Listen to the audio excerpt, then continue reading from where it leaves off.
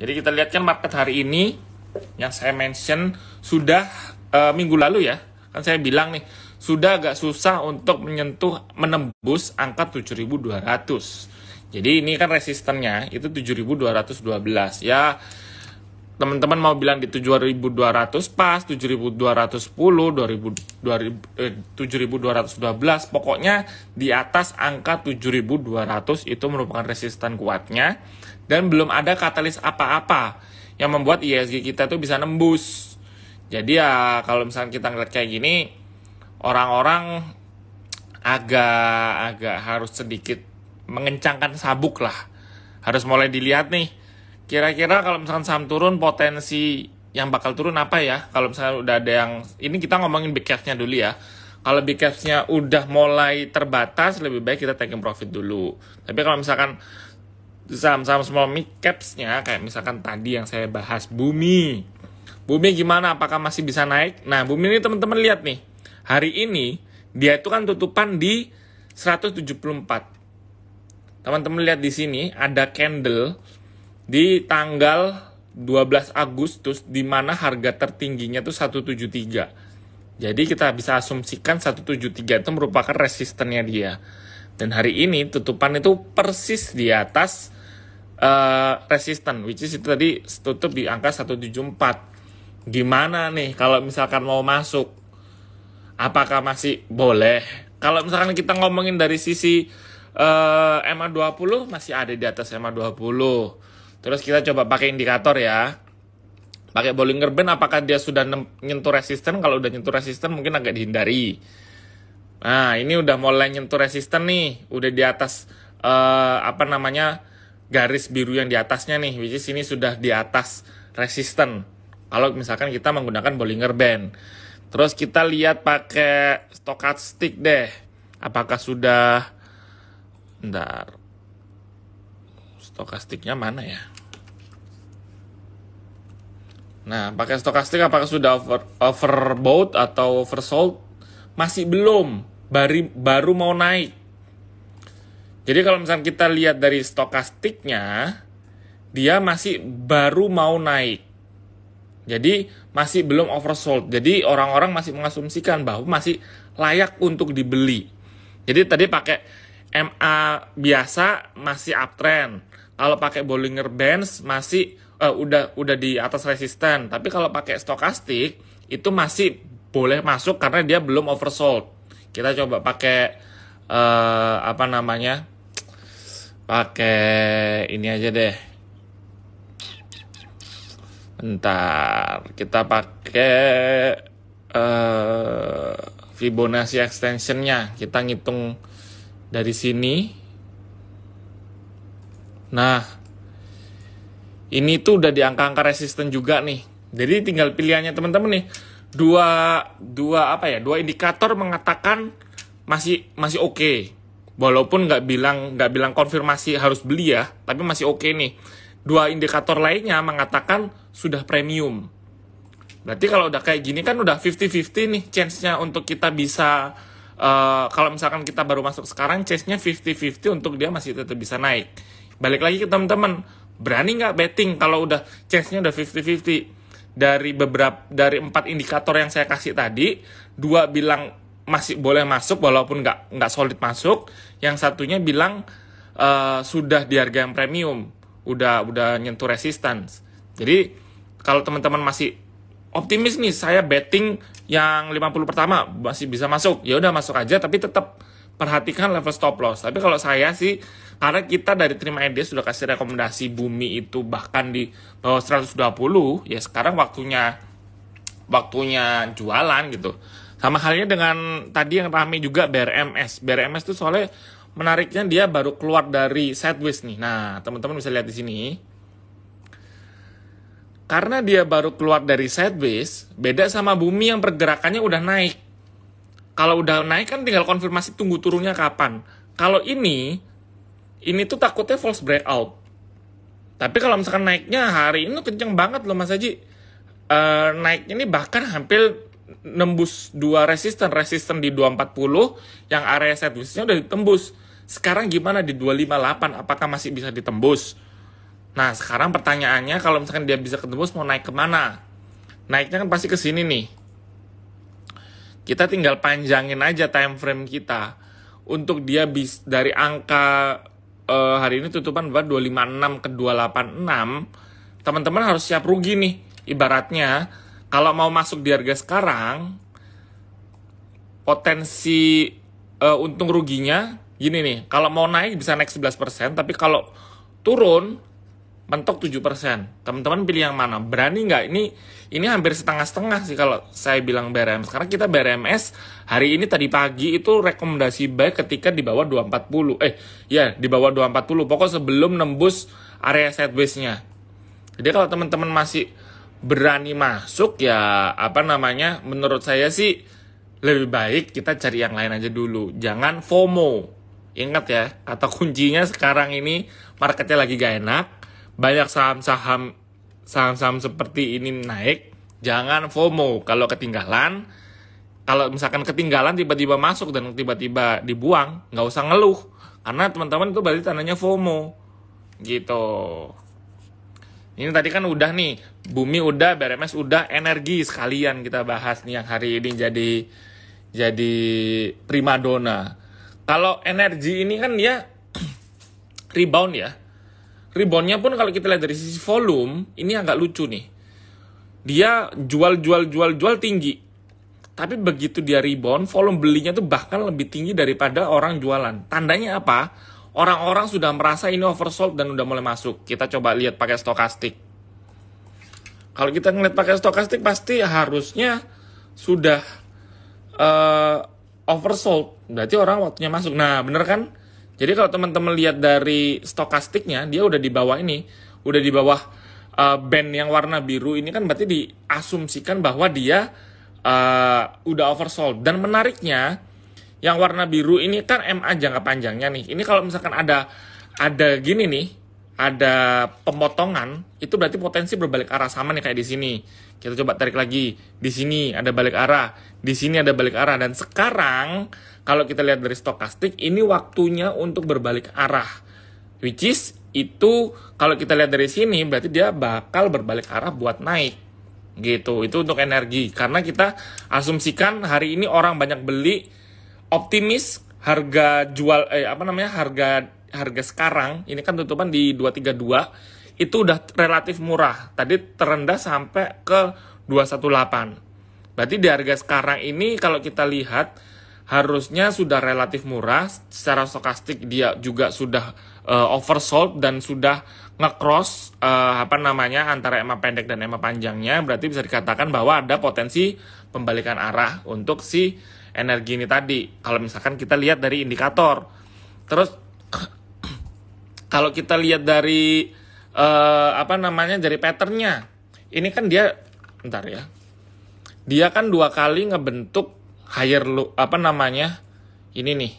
Satu dua. Berarti bisa dikatakan ini adalah uh, double top. Double topnya kita lihat target turunnya tuh sampai ke berapa kita asumsikan di sini kita gambar ya nah ini kan gambarnya enak nih jebret jebret berarti garis ini, garis atasnya ini kan merupakan garis kuatnya. Saya gambar ya. Bentar nih, kebanyakan gambar nggak enak. Bentar. Ini kalau saya gambar, karena udah ngebentuk double top, kita harus lihat batas bawahnya itu turunnya sampai berapa. Kalau misalkan udah nyentuh batas bawah, apakah selesai? Maksudnya apakah dia nggak bakal turun lagi? kan batas bawahnya tuh di sini nih. Ini target turunnya tuh bakal sampai sini. Jadi kita kopas aja. Eh salah. Kopas batas penurunannya. Kalau kita asumsikan dia turun dari sini. Nah, benar. Dia berarti udah selesai nih batas penurunannya kalau kita lihat dari pattern double topnya. Which is ini memang ada potensi untuk berbalik arah. Energi, kalau misalkan teman-teman tadi bilang, masuk bumi telat, masuk BRMS telat, harusnya masuk energi masih oke. Okay. Gitu. Kalau misalkan kita lihat dari beberapa pattern tadi ya. Wah, Cars. Cars ini agak lucu nih. Cars uh, saya masih belum bisa analisis secara apa namanya secara teknikal ya. Karena dia juga baru baru bangkit dari kubur. Bahkan kalau kita lihat dari apa namanya dari time frame yang jangka pendeknya satu jamnya aja dia masih lompat-lompat naik terus. Kalau misalkan ditanya ya pasti secara MA lebih tinggi dari MA 20-nya, apalagi MA 100, MA 200-nya. Kalau misalkan kita lihat dari eh, apa namanya? dari dari indikator pun juga harusnya juga pasti sama nih. No, masih pasti pasti bakal kayak gini. Gambarnya masih apa ya?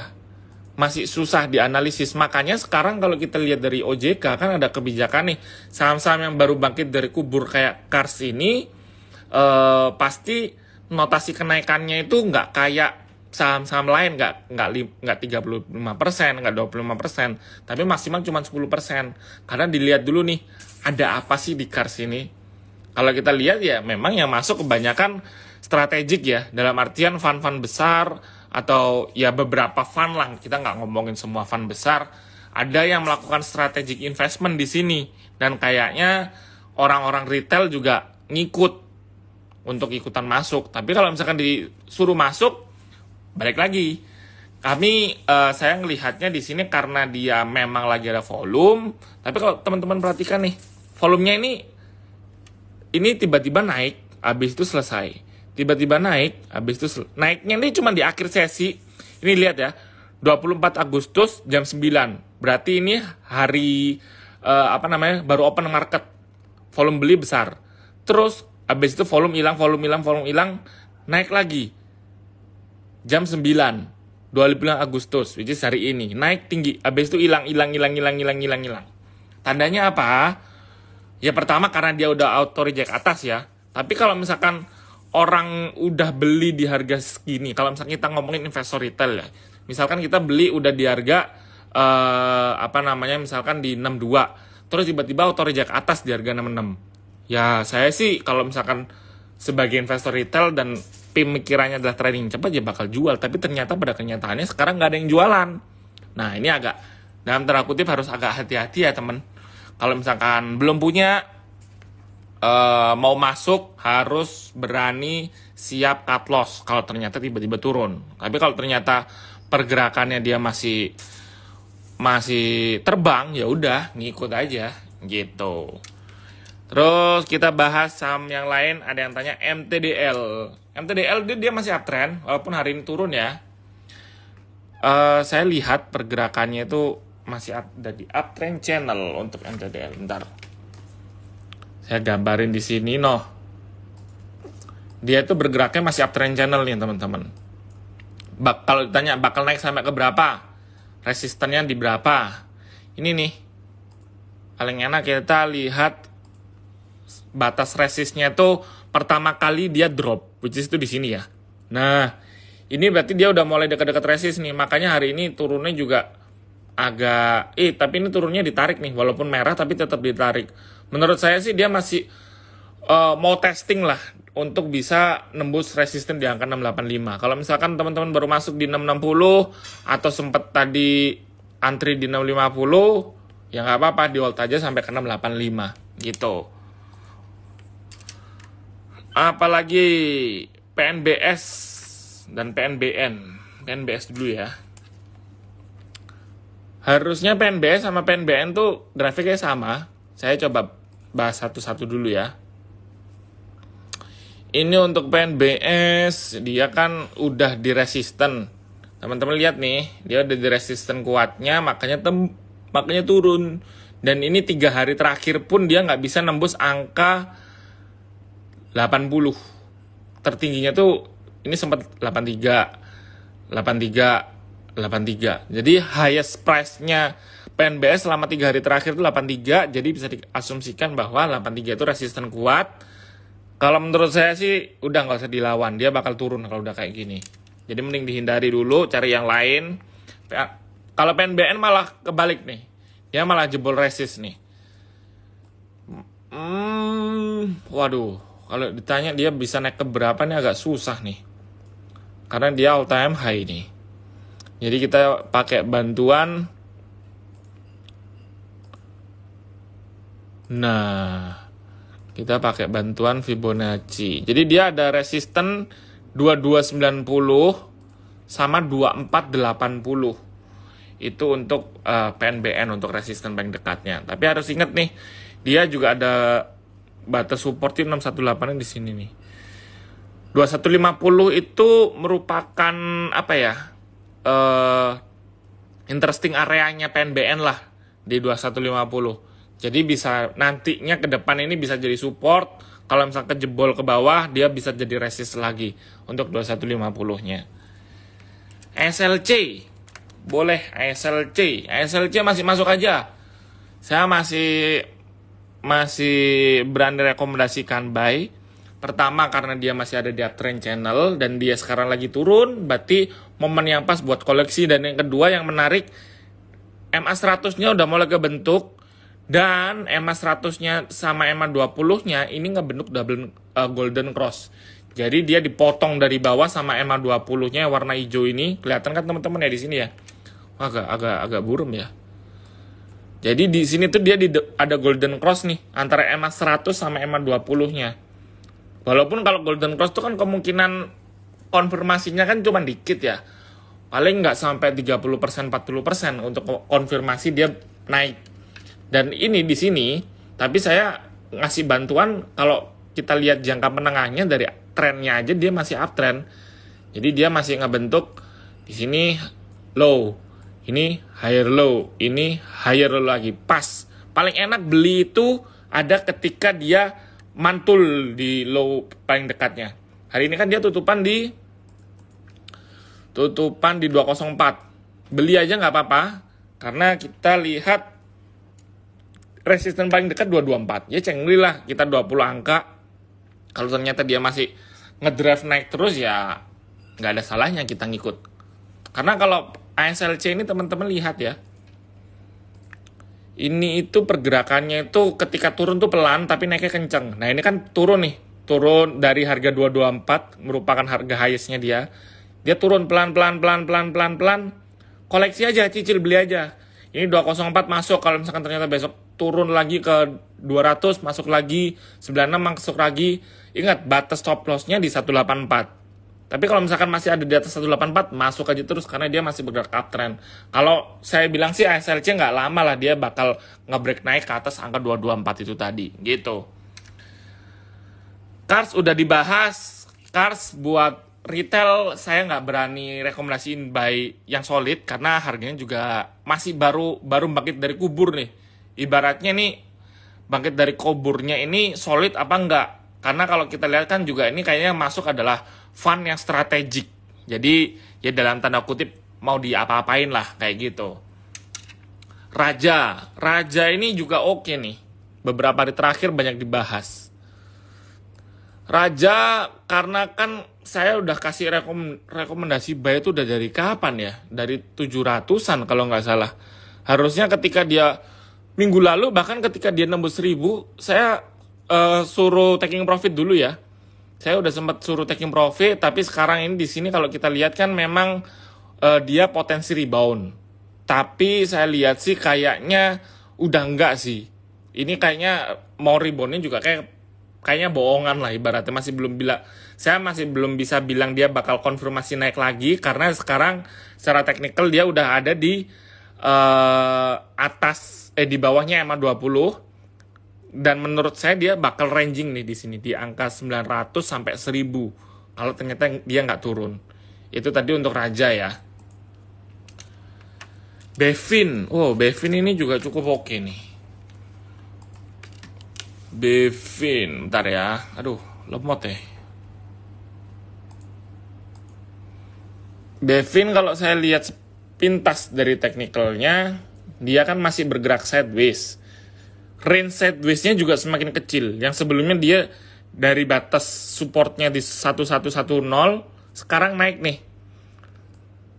Naik jadi 1155. Ini kita jadikan batas support quote-nya ya. Karena ini di sini dia pernah mau nembus nggak bisa, di sini dia malah rebound naik kenceng. Dan apa namanya? Resistnya juga jadi semakin kecil nih kalau saya lihat. Mentok-mentok itu di 1290. Jadi ya range buat tradingnya enak nih. Untuk Bevin masuk aja di bawah 1200. Nanti jualnya ketika sudah ada di 1280, 1270 karena resisten kuat di 1290. Jadi masuk misalkan 1900 eh 1190, pokoknya di bawah 1200 ya. Tapi ingat batas stop lossnya kalau misalkan dia udah jebol di bawah 1155. Kalau saya lihat secara teknikal ini kan ada ada garis EMA-nya banyak nih. Mulai menyatu. Ini tuh biasanya bakal kecenderungan sideways. Kalau kalau misalkan udah kecenderungan kayak gini nih.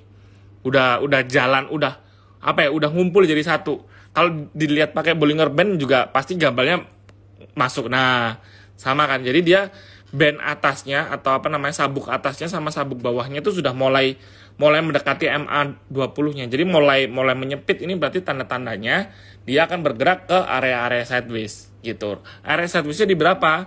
Tadi kalau misalkan kita pakai yang basic support resist, supportnya di 1155, resistnya di 1290 gitu. Medco sama Elsa mau ke mana nih sektor minyak? Karena kalau kita lihat kan memang harga minyak lagi lompat ya. Balik lagi ke atas 100. Ya storynya paling teman-teman udah tahu semua lah ya. Yang masalah Amerika sama apa namanya supply-nya juga kurang lagi. Meskipun nanti di bulan September katanya OPEC Plus mau meningkatkan produksi, tapi kita lihat nih, bisa nutup apa enggak produksinya kalau nggak bisa nutup ya pasti masih tetap ada di atas angka 100 untuk uh, apa namanya harga minyak dunianya nah kalau kita lihat dari Medco-nya sendiri gimana Medco-nya sendiri kalau saya lihat dia harganya udah cukup premium dia open gap nih di sini gapnya juga ini agak bahaya nih gapnya gede naiknya tinggi begitu ada turun ini pasti ditutupnya maksudnya gapnya ditutupnya bakal cepat nih jadi kayaknya orang-orang dari kemarin yang masuk ke Medco itu cuman ngelihat harga minyak langsung betting masuk trading sentimen positif tapi malah dijadiin sell on news ketika harga minyaknya tembus atas 100 Elsanya gimana?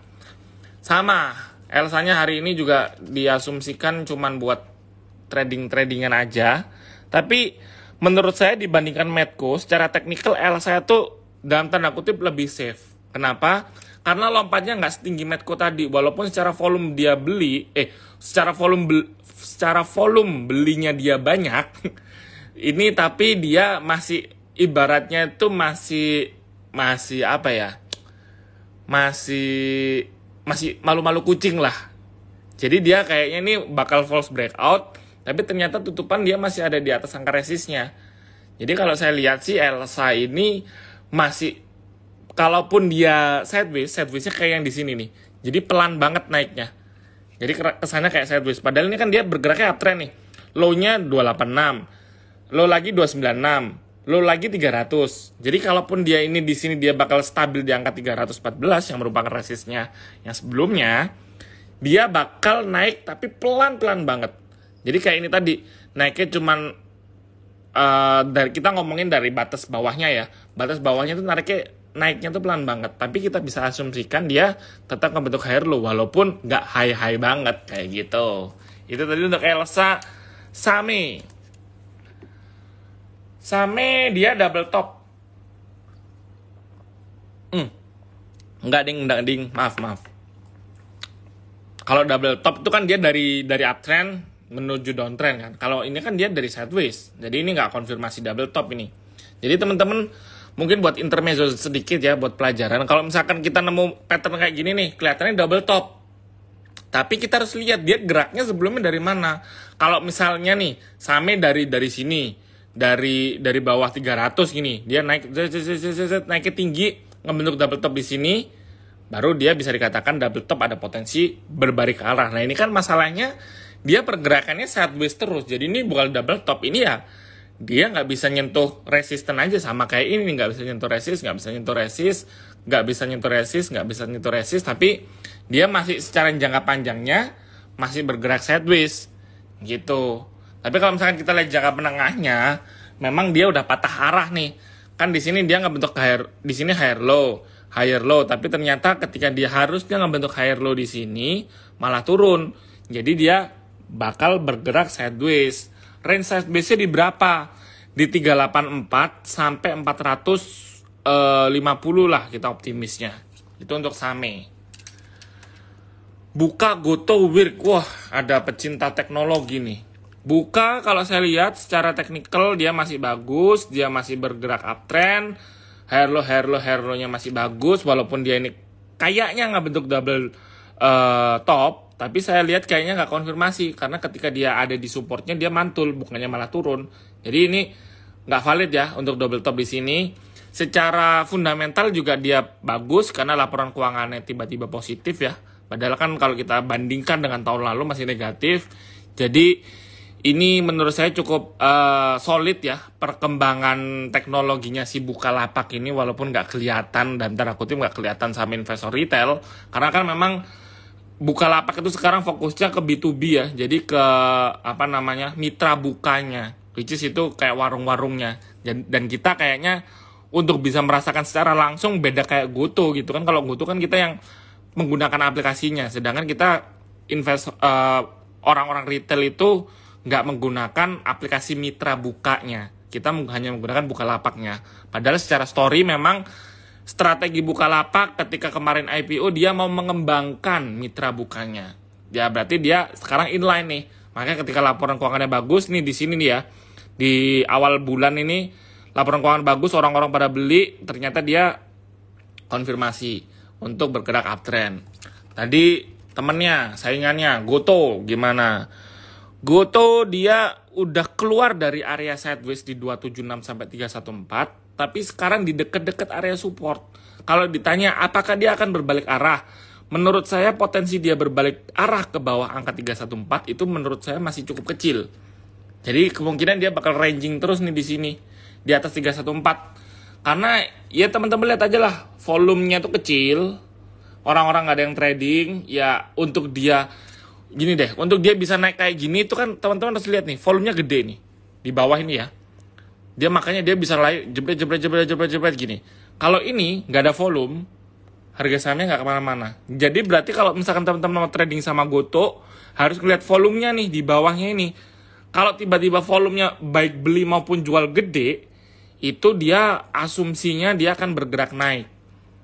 Tapi kalau misalkan volumenya kayak gini ya pasti bakal ranging-ranging aja ini untuk Goto. Jadi kalau menurut saya sih lebih menarik buka ketimbang Goto. Terus satu lagi teknologi tadi WIRG.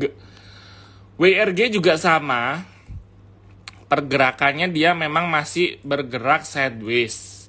Kalau saya sih sidewaysnya kayak gini, saya nggak suka untuk di tradingin karena nggak ke mana-mana. Jadi kalau saham kayak gini, saya lebih baik kasih alert kalau misalkan dia nembus resisten. Nembus resisten pun nggak misalkan hari ini, misalkan besok nih, dia tembus ke atas angka 610, saya nggak langsung masuk. Saya tunggu 2-3 hari dulu, konfirmasi nggak dia ada di atas angka resistennya. Oh kalau misalkan sampai hari Selasa dia bisa stabil di atas angka 610 ya udah saya baru masuk. Tapi kalau ternyata masih masih di bawah 610 dia masih keluar habis itu masuk lagi, keluar masuk lagi saya sih nggak mau masuk dulu untuk WIRG. Gitu. Dharma, boleh. Kas tadi udah ya kita bahas ya. Dharma jangka pendek dia double bottom. Tapi hari ini ternyata nggak jadi double bottom. Jadi double bottomnya itu ditarik turun ke bawah, tutupan minus 6%. Ya, Dharma ini kalau kita lihat memang uh, bakal sideways sih kalau saya ngelihat udah udah gagal double bottomnya di sini, dia harusnya double bottom cepet nih. Tapi ternyata double bottomnya nggak waktu di harusnya hari ini dia jebret naik, tapi ternyata orang-orang malah yang kemarin beli memanfaatkan buat jualan. Jadi udah buang barang nih. Ibarat nih, kemarin orang pada beli 685 sampai 730. Hari ini di atas 750, orang-orang yang beli di 690, 685 ini jualan barang pada panic selling akhirnya jebol kalau kita lihat dari candlenya ini kita asumsi uh, analisis lucu-lucuan aja grafik uh, candlenya ini gambarnya sama nih. Berarti asumsinya orang yang beli sama nih. Apa namanya?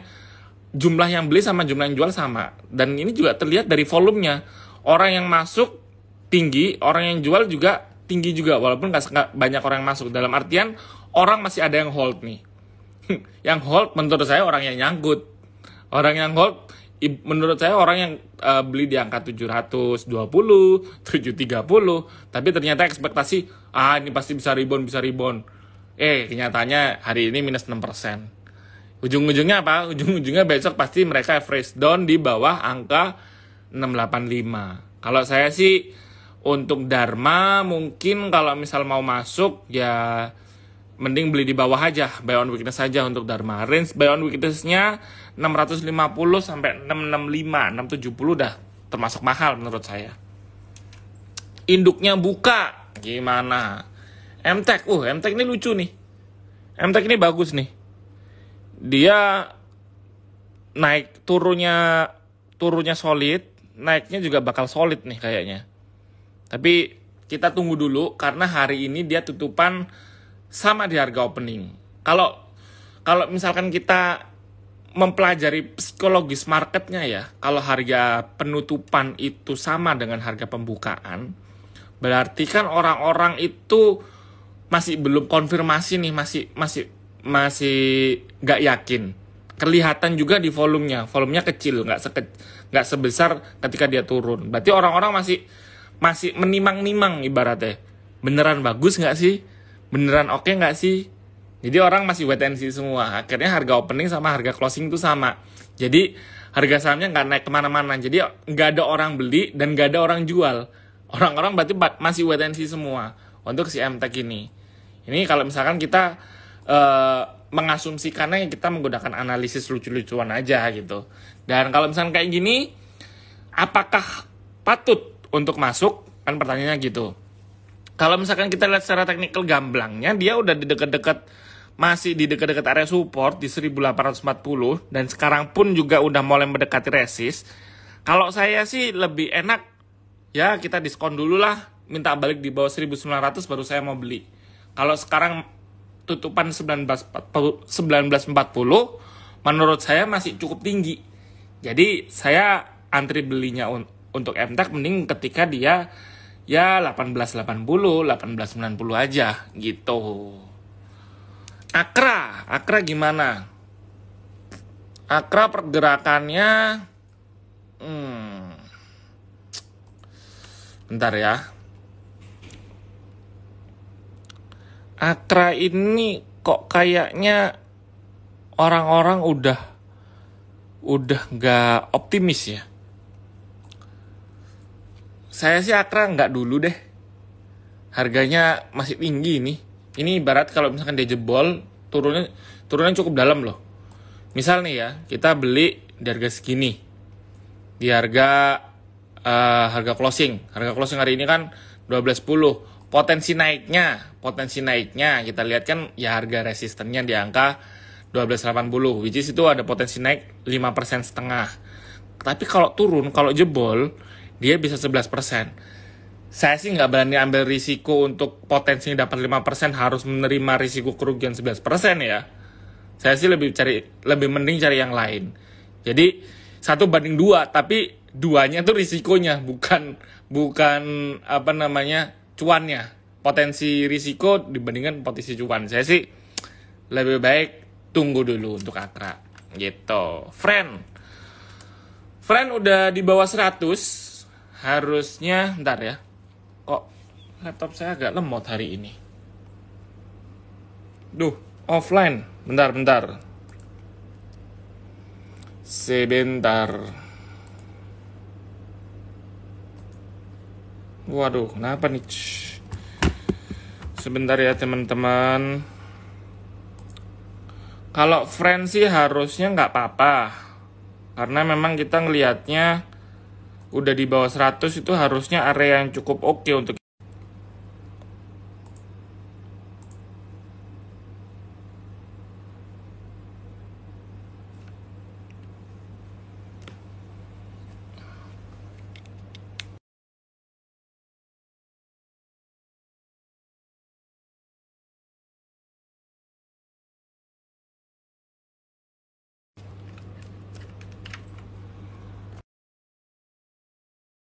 Ada gangguan sinyal, mohon maaf, mohon maaf.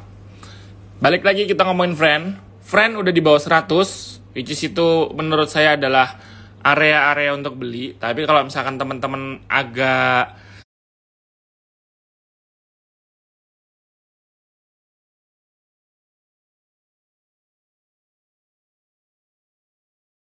agak apa ya, agak skeptis lah sama saham downtrend. Ya antrinya kayak dulu aja.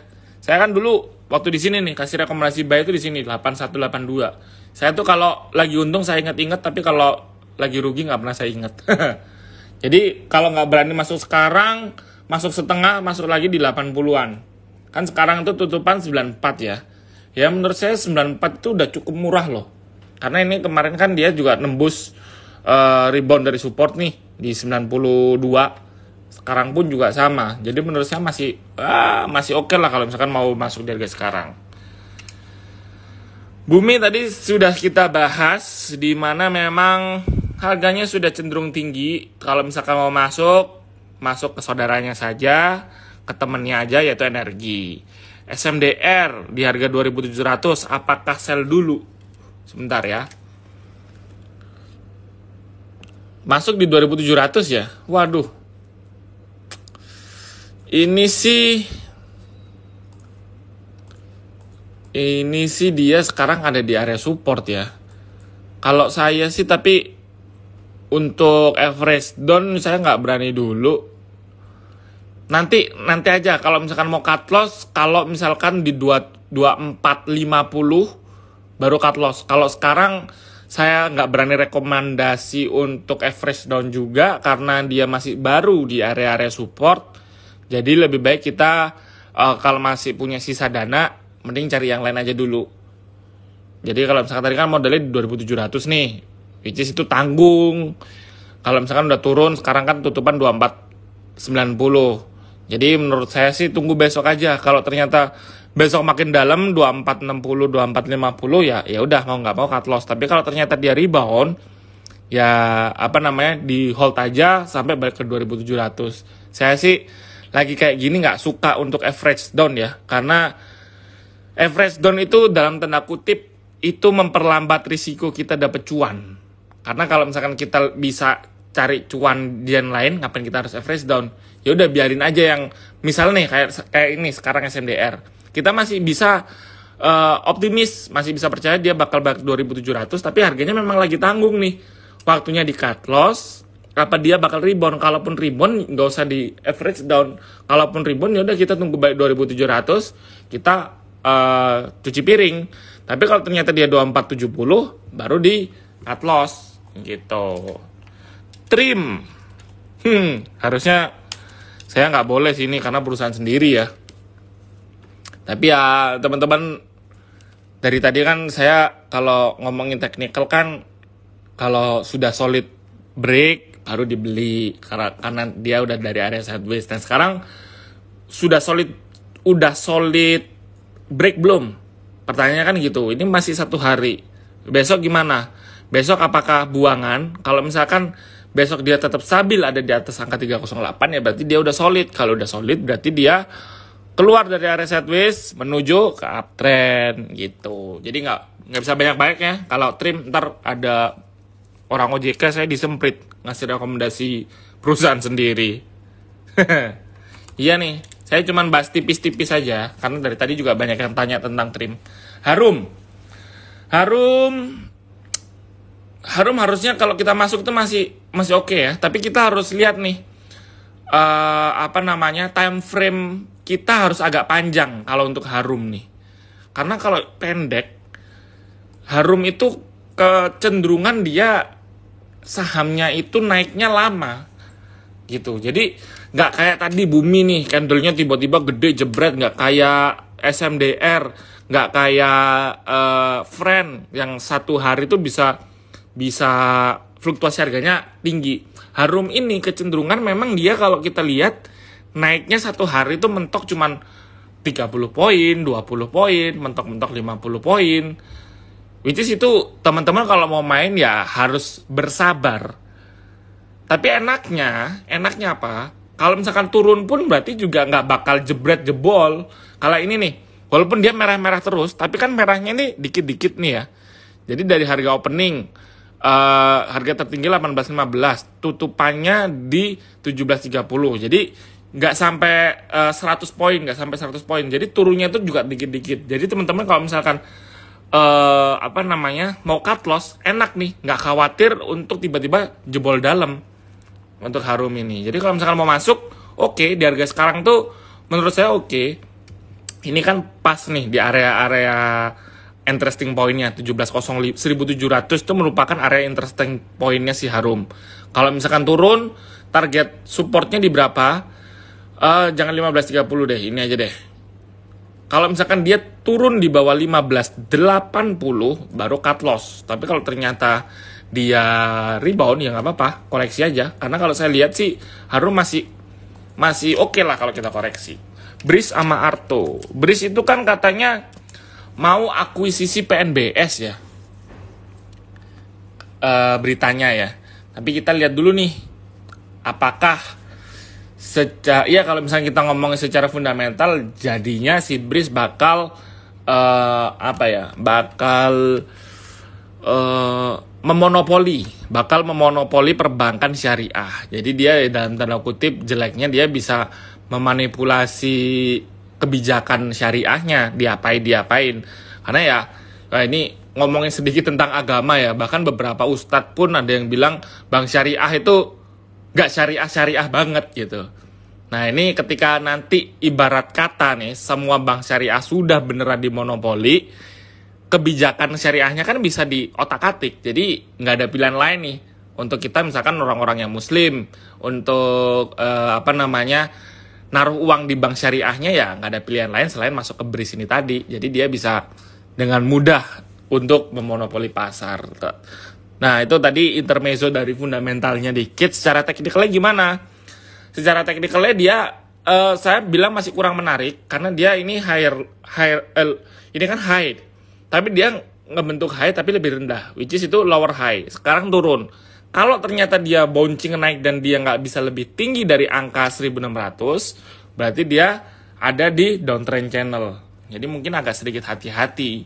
Karena ya takutnya nih takutnya nih nanti kalau misalkan beritanya yang bris beneran akuisisi PNBS yang bank apa namanya panin bank syariahnya itu tadi uh, takutnya malah dijadiin sell on news doang. Jadi naik satu hari besok orang buangan semua karena orang-orang udah ngasumsiin bakal beli itu di area-area di bawah 1500. Sekarang kan tutupan masih ada di angka di atas 1500 ya 1525. Jadi ya mungkin agak hati-hati kalau misalkan mau masuk bris.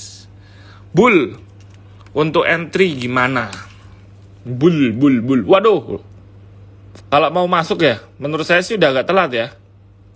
Kalau baru mau masuk. Karena ini bull itu kan kalau misalkan kita lihat jangka pendek ya jangka pendek nih. Jangka pendek kelihatannya uptrend. Nih kelihatannya uptrend. Ini lagi solid nih.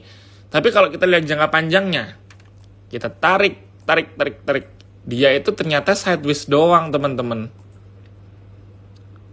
nih batas rendahnya di sini batas kuatnya di sini. Dan sekarang loh ini ini sideways jangka panjang banget ini. Ini turun nih. Sekarang lagi naik. Ya kalau misalkan kita asumsikan dia bakal merah terus kayak ini berarti kan dia bakal hijau terus nih. Hijaunya sampai ke berapa ya? Mungkin sampai ke 172 ini tadi. Tapi sekarang pun kan dia udah tutupan 165 kalau misalkan mau dinaikin uh, ya udah kita beli 165 jual 170 ya, ya cuman cuman cuan 4% doang lebih banyak potensi ruginya nih potensi naik 4% kalau misalkan kita beli lihat ini potensi turunnya 11%. Menurut saya nggak worth it sih kalau baru mau masuk sekarang ya untuk untuk si bull ini tadi. Kalau saya sih enakan masuknya ya ketika ketika dia tunggu dia turun aja. Ini kan dia udah mulai dekat-dekat resist nih. Berarti kalau misalkan kita lihat secara historis ketika udah nyentuh resist turun. Nyentuh resist turun. Nyentuh resist turun. Nyentuh resist turun ya kita tinggal tunggu aja ini bentar lagi dia deket ya pasti dia deket-deket 170 bakal turun antri beli di bawah 160 gitu BP oh ini ada yang nanya banyak yang BP nih BP kayak orang-orang belum bisa move on ya. Kayaknya sih kalau saya lihat ya, minggu lalu juga waktu saya live banyak juga loh yang nanya BP. Kalau dari teknikalnya gimana nih teman-teman? Harusnya bisa lihat dong. Jebret naik, abis itu nggak ke mana-mana. Nah, dan dari MA-nya pun, dari garis MA-nya pun, MA-nya sudah udah segaris. Kan saya selalu bilang nih, kalau dari MA 20-nya ini udah udah merepet-merepet terus, berarti itu tandanya dia bakal bergerak sideways. Dan kalau bergerak sideways, kita nggak tahu naik uh, keluarnya itu sampai berapa lama. Gitu. Jadi kalau misalkan nih teman-teman ada yang nyangkut, misalkan ada yang beli di 218, 220. Wah, kalau misalkan saya harus cut loss sih nggak berani ya. Apalagi kondisinya lagi sideways kayak gini. Saya sih berharapnya dia bisa naik lagi, kan pasti kayak gitu. Tapi uh, ya menurut saya kalau misalkan teman-teman mau masuk BP, eh misalkan udah nyangkut di BP, nggak apa-apa nggak usah cut loss, asalkan teman-teman kuat nahan. Itu ya, kuat nahan kalau misalkan dia tetap bergeraknya sideways nih jadi ini kan saya kan uh, bikin support di sini 183. Kalau teman-teman ekspektasi ya 180 lah kita kasih diskon dikit buat orang-orang yang susah move on. Kita kasih target support di 180. Kalau misalkan teman-teman udah nyangkut di BP, di misalkan di atas 200 dan nggak berani, nggak mau cut loss, nggak apa-apa di hold aja, asalkan teman-teman harus uh, pantengin terus karena kalau misalkan dia udah di bawah 180 harus cut loss. Tapi kalau sekarang teman-teman nyangkut, saya nggak kasih rekomendasi cut loss dulu. Di hold aja nggak apa-apa, kuat-kuatan aja. Kalau udah kayak gini tuh udah udah mental kuat-kuatan aja. Mau di hold sampai berapa lama sampai bosen kali ya. Karena saya ngelihat sini belum ada potensi untuk dia nggak kelihatan nih apakah dia mau break naik atau ternyata dia malah bakal turun lagi kayak gitu belum bisa move on dari Antam nyangkuters waduh cut loss kah modalnya di berapa nih Antam sih harusnya kalau modalnya di atas di atas ah, gimana ya? Saya ngomongin Antam ya. Secara fundamental tuh harusnya bagus. Tapi memang kebanyakan investor yang masuk itu investor retail di mana gampang panik orang-orang investor retail. Jadi begitu ada satu buangan nggak nggak bakal ada pembalikan arah. Kalau misalkan yang bagus itu kan kalau misalkan ada investor asing masuk karena investor asing kan kalau masuk melihat fundamental. Nah sekarang permasalahannya Antam itu kan secara ESG itu kan ya sektor pertambangan walaupun tambangnya tambang nikel yang untuk electric vehicle ya tetap aja bakal ada pertanyaan ini itulah kalau misalkan kita ngomongin dari sisi ESG-nya atau misalkan dari keramah lingkungannya gitu. Dan ini akhirnya walaupun story-nya bagus, secara fundamental oke, okay, jangka panjangnya ke depannya kita ngelihat ada potensi bisnis yang cukup oke okay ketika dia kerja sama sama perusahaan uh, China, tapi itu cuma dimanfaatkan sama orang-orang investor retail doang buat trading doang gitu. Nah ini jadinya agak dilema nih. Secara fundamental bagus tapi secara teknikal kok gini gitu kan. Ya balik lagi teman-teman tadi dari awal belinya itu melihat dari sisi fundamentalnya apa enggak. Kalau misalkan kemarin waktu misalkan ini beli di angka 2500 dengan ekspektasi, oh iya saya ngeliat fundamentalnya bagus, saya target jual ada di angka 3000. Misalnya kayak gitu. Ya udah stick aja sama sama uh, teorinya sama analisisnya. Ketika dia turun, analisis lagi masih masih on track nggak sih? Oh ternyata masih on track. Kalau ternyata masih on track, average down tapi kalau misalkan teman-teman melihatnya cuma murni berdasarkan teknikal, pergerakan Antam ini menurut saya sudah nggak begitu uh, menarik ya. Karena dia menurut saya bakal kecenderungan bakal sideways di, di sini. Kenapa saya bilang nggak menarik? Pertama, dia sudah ada di garis EMA 20-nya di sini, udah ketembus. Pertama. Yang kedua, volumenya juga nggak banyak. Yang ketiga, pergerakannya juga udah mulai sepi nih fluktuasi harganya udah mulai semakin semakin lama semakin kecil. Jadi menurut saya Antam ini bakal rame lagi kalau berita tentang nikel, berita tentang electric vehicle atau misalkan tiba-tiba Tesla masuk Indonesia atau misalkan penjualan Hyundai mobil elektriknya naik, demand untuk baterai pasti meningkat. ini pasti dimanfaatkan buat trading jangka pendek. Jadi buat Antam nih, uh, mungkin buat masukan juga buat teman-teman trading Antam enaknya ketika lagi ada berita keluar. Itu langsung manfaatkan satu hari bisa cuan langsung cuan. Ya mau misalkan cuman menang 2%, 3%, 4%, nggak sampai 10%, udah cuan langsung langsung taking profit. Karena ini kita ngomongin secara uh, historical ya. Dari kemarin kan ya teman-teman tahu sendiri, berita keluar, harga sahamnya ke mana-mana, beritanya udah nggak ada, harga sahamnya melempem. Itu untuk Antam. Jadi mungkin buat pembelajaran, jangan sampai uh, keulang lagi. Itu untuk Antam. Terus average down terus tapi nggak naik-naik si Antam. Nah ya itu masalahnya. Nggak boleh average down kayaknya Antam tuh harus cut loss. Jadi kalau misalkan udah cuan, profit. Kalau misalkan udah nggak sesuai target, cut loss. Kalau di average down malah kita yang nyesek kalau antam. Agro. Oke. Eh kok agro yang ini sih? Bentar, bentar, bentar. Salah agro. Ini agro bang apa nih? Nah, Bang Raya.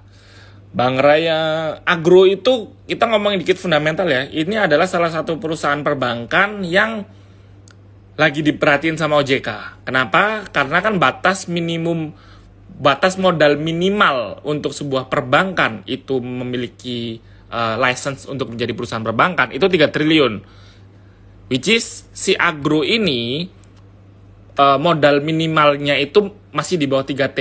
Jadi sama OJK dikasih tenggat waktu sampai akhir tahun 2022 perusahaan-perusahaan yang seperti agro terus uh, apa lagi BBYB yang belum memiliki modal minimal sebesar 3 triliun itu nanti bakal dirubah namanya. Jadi nggak jadi bank lagi. Jatuhnya jadi uh, koperasi. Kan lucu ya Bank Raya udah udah bank digital tapi koperasi digital ntar jatuhnya. BBYB juga sama. Jadi mungkin buat agro buat teman-teman yang punya agro buat teman-teman yang punya BBYB harus dipantengin terus beritanya karena takutnya kalau ternyata dia nggak bisa memenuhi modal inti jadinya bakal jadi koperasi sentimennya cukup negatif terutama bagi pemegang saham besarnya ya. Kalau saya sih ngelihatnya mungkin dalam beberapa waktu ke depan saham seperti Agro, saham seperti BBYB dan bank-bank kecil lainnya pasti akan melakukan right issue dengan embel-embel ekspansi, dengan embel-embel digitalisasi, tapi pada intinya yang mereka lakukan adalah kenapa mereka right issue supaya dia dapat modal dan modalnya tadi itu digunakan sebagai modal inti supaya memenuhi kriteria dari OJK kalau perbankan minimal harus punya modal inti sebesar 3 triliun gitu. Terus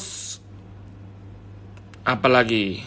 Wah ini masih belum pada move on sama Antam ya. BABP, BABP kayaknya udah selesai. Nah, minggu, dua minggu bahkan saya udah bilang udah selesai kayaknya storynya MNC ini. Jangan masuk lagi. Ini ya mungkin mungkin sudah jam segini rekomendasinya saya tadi ngelihat yang cukup menarik itu energi teman-teman energi ini mas harusnya oke okay loh besok ini harusnya uh, ada potensi naik nih raja udah enggak bumi kita lihat uh, saya sih bilang udah harganya udah premium tapi orang-orang tuh masih banyak yang nge-hold tinggal ini tinggal kuat-kuatan nih orang masih punya cash nggak buat beli kalau udah nggak ada yang punya cash buat beli, yang nggak hold tadi yang beli di harga sini pasti bakal dijual. Bakal jebol balik ke angka 120. Gitu. Jadi ya kemungkinan besok karena secara fundam eh secara uh, makronya nggak ada perubahan signifikan, orang-orang masih gonjang-ganjing dengan perubahan kebijakan mengenai subsidi BBM Pertalite ya. Jadinya harusnya uh, kayaknya nggak bakal nggak bakal ada yang menarik pergerakan saham-saham big capnya. Jadi mungkin besok yang bakal naik lagi, yang bakal atraktif lagi tuh saham-saham small mid capsnya kayak tadi kan Bumi sama BRMS sudah lompat ya. BRMS mungkin uh, ya saya sih topiknya energi ya, tapi kalau BRMS karena dia baru baru break resistant masih ada potensi. Tapi kalau Bumi ya teman-teman lihat sendiri aja harganya udah cukup premium. Jadi mungkin malam ini sampai di sini aja. Terima kasih waktunya. Uh, saya ingetin lagi nih, mesti di atas jam setengah sembilan nih baru rame udah di atas 300-an. Padahal tadi saya tuh live-nya selalu mulai persis jam 8. Nggak kayak teman-teman saya yang lain tuh pasti live-nya molor. Kalau saya tuh setiap malam Jumat saya selalu live-nya persis jam 8. Jadi kita ketemu lagi di minggu depan di waktu yang sama. Thank you semuanya. See you.